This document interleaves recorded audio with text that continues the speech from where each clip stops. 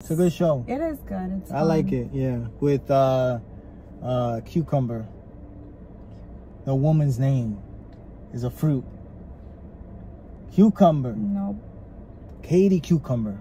Mm, That's her name. She was on another big show, The Big Bang Theory. I have no idea. I Don't know. The woman in the show. You remember her? yeah, but I can't see her face. She's on another show on HBO where she's a flight attendant too. And it's called The Flight Attendant, I think. Yeah, but I don't know her name. Kaley Cucumber. Kaley That's not her name. Kaley Coconut. Nope.